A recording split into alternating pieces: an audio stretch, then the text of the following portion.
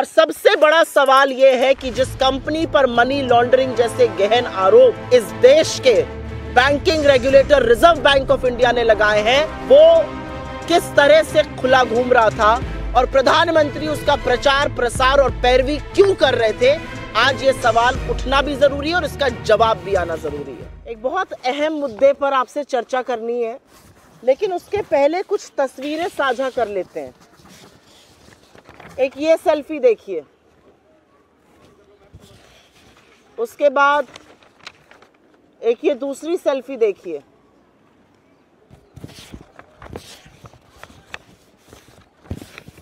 फिर एक तीसरी सेल्फी देखिए। एक चौथी भी लेकर आई हूँ। इन सेल्फियों को देखने के बाद आपको कुछ और दिखाऊँगी। 10 नवंबर 2016 को इस देश के तमाम अखबारों में अगर आप थोड़ा जूम इन कर पाए तो फ्रंट पेज पर कवर पेज पर 10 नवंबर 2016 नोटबंदी के दो दिन बाद एक बड़ा सा विज्ञापन कवर पेज पर छपा था। और आप लोग तो प्रबुद्ध मीडिया के साथ ही आप जानते हैं कि कवर पेज कितना महँगा होता है, लेकिन ये कवर पेज का विज्ञापन छपा था जिस पर मोदी जी को मज़बूत निर्णय, नोटबंदी जैसे मज़बूत निर्णय को लेने के लिए साधुवाद किया गया था, पेटीएम ने छापा था। ये वही पेटीएम है जो नरेंद्र मोदी जी के ऊपर एक पिक्चर बनी है, थोड़ी घटिया सी पिक्चर थी, कोई बात नहीं। उस पर पंद्रह परसेंट का कैशबैक देता है, दो सौ रुपए कैशबैक, जिसका ज़िक्र प्रधानमंत्री उत्तराखंड की अपनी रैली में करते हैं।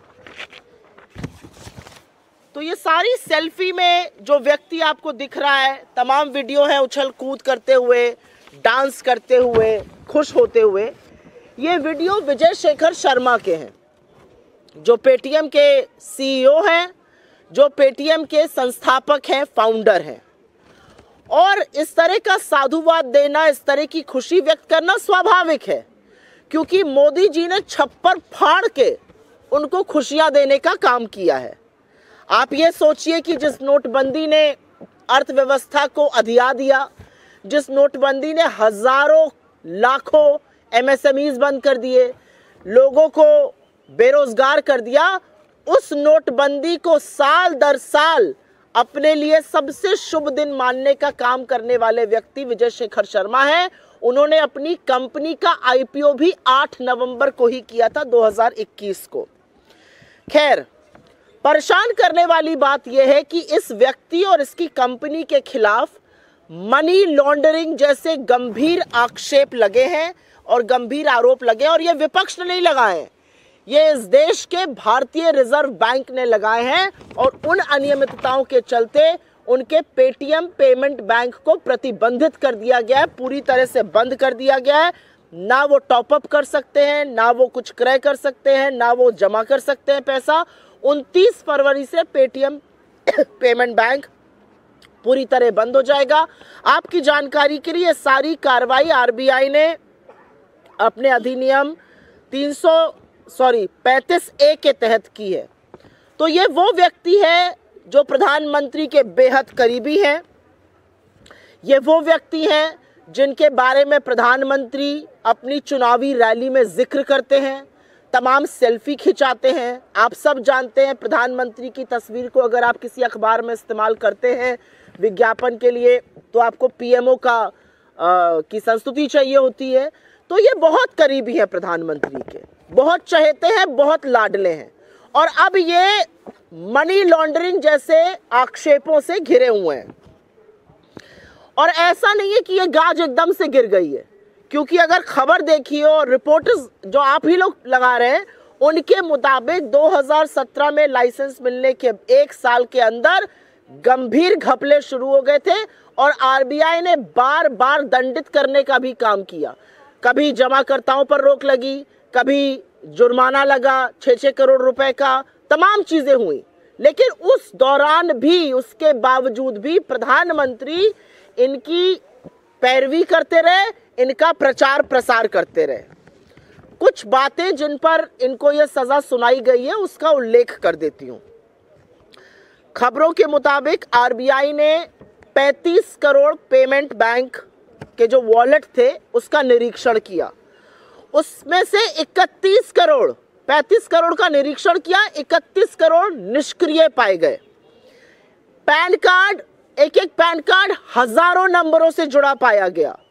लाखों खातों का केवाईसी नहीं हुआ था। मनी लॉन्ड्रिंग की संभावनाएँ इसी से उजागर हुई। बैंक द्वारा लगातार झूठी अनुपालन रिपोर्ट देती जाई गई और जो ग्रुप 197 कंपनी का नाम है, लेकिन पेटीएम की जो ग्रुप कंपनीज़ हैं, उसमें आपस में जो घपला था, उसके चलते आरबीआई ने ये बड़ा कदम उठाया। यहाँ पर दो चीज़ों की बात करनी ज़रूरी है, क्योंकि पेटीएम पर पहले भी अपने डेटा को भारतीय जनता पार्टी के साथ साझा करने का गंभीर आरोप लग चुका है। आरबीआई ने पेटीएम पेमेंट बैंक के बीच और पेटीएम के बीच होने वाले डेटा ट्रांजैक्शन पर भी गहन चिंता जताई है। और यह भी सामने आता है कि इस चिंता के बावजूद ना शीर्ष अधिकारियों का तबादला हुआ, ना उनके खिलाफ कोई कदम उठाया गया, और कंपनी ने बिज़नेस बनाने के जुनून में लगातार नियमों का उल्लंघन किया और हर तरह के कानून को ताक पे रखा। शायद वो कहावत है हमारी तरफ़ कहते हैं, जब सैया भय कोतवाल तो डर काहे का मोदी जी साथ में हैं, उनके साथ सेल्फी खींच रही हैं, वो प्रचार प्रसार आपका इलेक्शन रैली में कर रहे हैं तो डरने की क्या बात है इन लोगों को? खैर एक और चिंता जो आरबीआई ने जताई, वो पेमेंट बैंक की शेयर होल्डिंग को लेकर है। करीब उनचास प्रतिशत हिस्सेदारी पेटीएम कंपनी की थी, जिसे लोग 197 कम्युनिकेशन के नाम से जानते हैं, लेकिन इक्यावन प्रतिशत हिस्सेदारी इस बैंक की सिर्फ़ और सिर्फ़ एक व्यक्ति, विजय शेखर शर्मा के पास थी, जिनकी सारी सेल्फी मैंने आपके सामने साझा करी है। और ये एक बहुत चिंता का विषय है। क्योंकि इससे ये साफ़ होता है कि एक व्यक्ति जिस तरह का भी निर्णय चाहे वो कर सकता था।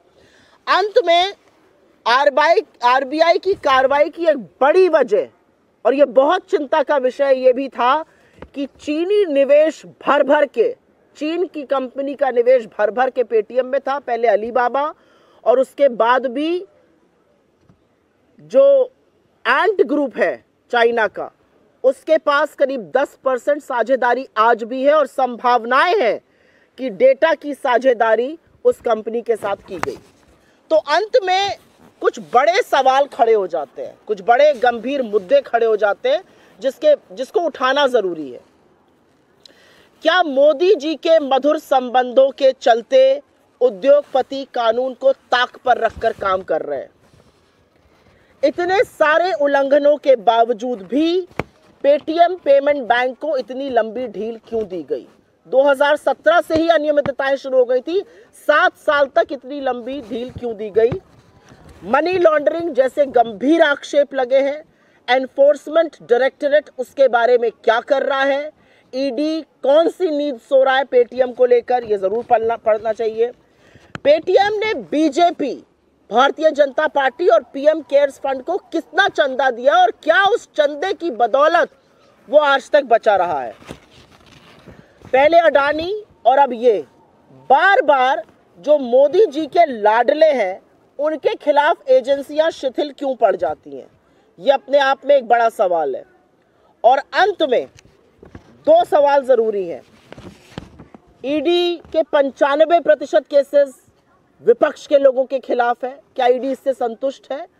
और पेटीएम का तमाम ट्रांजैक्शन में लेन देन है। दस करोड़ से ज़्यादा तो पेटीएम के उपभोक्ता है।